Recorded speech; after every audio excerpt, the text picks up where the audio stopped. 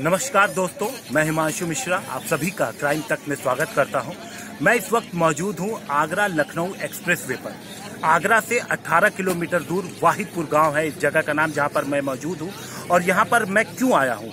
दिल्ली से आखिर इस जगह पर क्यों आया हूँ, ये मैं आपको बताता हूँ। आप ये सामने देखिए, यहाँ पर पूरा आप देखिए काम चल रहा है। दरअसल जिस जगह पर ये आप बड़ा एक गड्ढा देख रहे हैं, जिसे भरा जा रहा है फ़िलहाल यहाँ पर सुबह सर्विस रोड हुआ करती थी। लेकिन अचानक से बुधवार की सुबह ये पूरी की पूरी सर्विस रोड एकदम धड़ाम से 50 फीट नीचे पहुँच गई। और बताया जा रहा है कि उस वक्त रचित नाम का एक शख्स, जो कि पास के कन्नौज का रहने वाला है, वो अपने तीन दोस्तों के साथ बॉम्बे गया हुआ था गाड़ी खरीदने के लिए। एक एसयूवी गाड़ी खरीदी उसने बॉम्बे से और वो लेकर के वो अपने घर वापस पहुँच रहा था। अब यहाँ से वो कुछ ही दूरी पे उसका जब घर था तो जब वो यहाँ पर पहुँचा, उस वक्त सुबह के चार और पाँच बज रहे थे, ठीक सामने की जगह जहाँ पे अब आप मिट्टी का ढेर देख रहे हैं, जैसे ही वो वहाँ पहुँचा तो वहाँ पर अचानक उसे सामने गड्ढा दिखाई दिया। और एकदम तेज़ी से जब वो उसने गाड़ी पे ब्रेक लगाए तो यहाँ तक पहुँच गया था, गड्ढे के पास वो पहुँच गया था।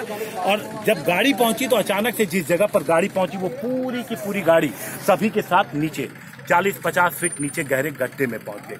लेकिन गनीमत ये रही, रचित की किस्मत इतनी अच्छी थी कि इतने नीचे पहुँच जाने के बावजूद भी रचित और उसके दोस्तों को चोट नहीं लगी, उन सबकी जान बच गई, कोई चोट भी नहीं लगी। लेकिन जिस तरीके से ये हादसा हुआ, ये बहुत सारे सवाल खड़े कर रहा है, खासकर एक्सप्रेस वे और उसके साथ के जो कंस्ट्रक्शन हुए हैं, उसको लेकर के। एक्सप्रेस वे पे भी जहाँ पर ये नीचे हादसा हुआ है, वहाँ पे ऊपर अच्छी खासी दरार देखी जा रही है, जिसकी शिकायत की जा चुकी थी।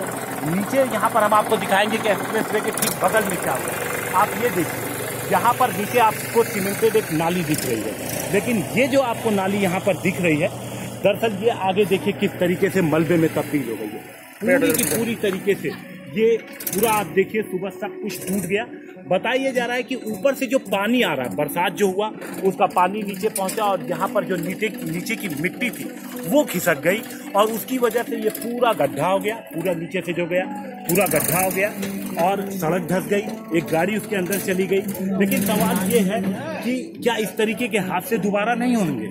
क्या इस गड्ढे को भरने से आगे के हादसों को रोका जा सकता है?